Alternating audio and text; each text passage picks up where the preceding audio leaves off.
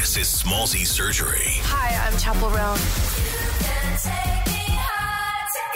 Okay, Chappell Roan, big breakout star of the year. We only had her on at the MTV Video Music Awards from the red carpet uh, about a week or so ago. Yeah. Well, she's getting some backlash tonight, um, cancelling more shows. Now, she cancelled a couple of shows to go to the Video Music Awards.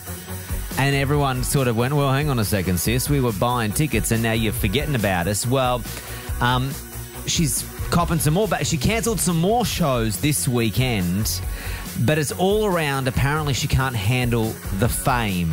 So, this is what she said a, a couple of weeks ago when she first started to say she was struggling with the fame. It's weird how people think that you know a person just because you see them online or you listen to the art they make. That's fucking weird. I'm allowed to say no to creepy behavior.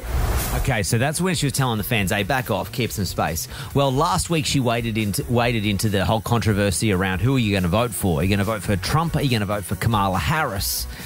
And look, she said she was not. She didn't. She hated both sides equally. And well, didn't they? Didn't didn't her so-called fans come for her? This is what she had to say.